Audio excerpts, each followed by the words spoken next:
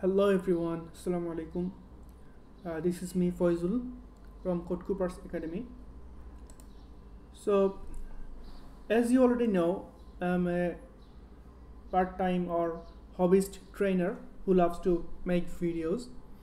To do that, a lot of times I had to create the videos using OBS and upload those in YouTube.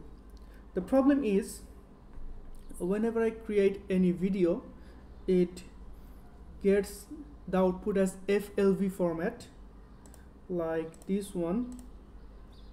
So I had to convert this in MP4 and upload to YouTube. Well you may ask you just upload the FLV anyway. Yeah I could.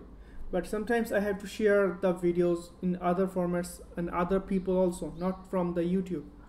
So I had to convert those in MP4 using FFmpeg as you can already see here. The interesting part is what I do generally is I use this type of command.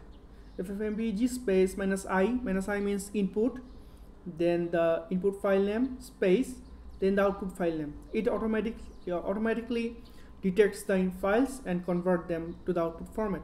Well I had been doing this mm, for a long time. So I was wondering uh, what if I create a desktop application and just make my life easier because I'm a developer? So I started this small very small application. Just it's working. Uh, let me just run it for you. So basically this is the uh, output format. I already have the sample FLV here in case you don't know uh, I have already included sample.flv here and it always copies to the output directory. So if I write uh, press F5 and press convert it converts it and opens the file for me. So basically what it does uh, what it does is uh, it takes the output file launch it and opens the process info. Yeah I am opening the command prompt or PowerShell here and I am using the FFmpeg here. Why, where is it coming from? Here it is. So it is the copy always also. So no matter if I delete my debug folder or not it always gets copied. And then uh, what is uh, I'm giving the input here input space output file and then it executes and wait for the uh, uh, wait for the exit and then I am opening that file. So it's very simple. What if I just inline those? Uh, inline inline inline. Okay. So it opens the file for me. I don't have to go again and find out the file where it is. So this is it. So basic prototype is done. Now I just have to make some sugar coating here. So I can just file file file open file dialog here.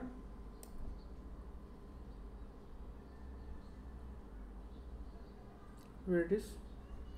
Maybe I will do it by myself and create another video.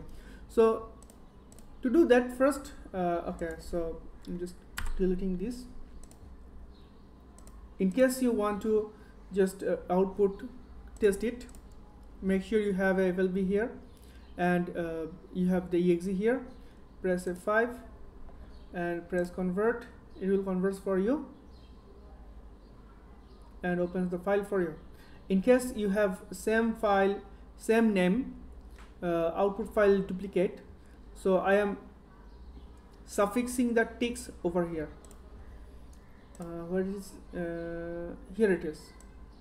So that no matter how many times you run it the output file doesn't get duplicated.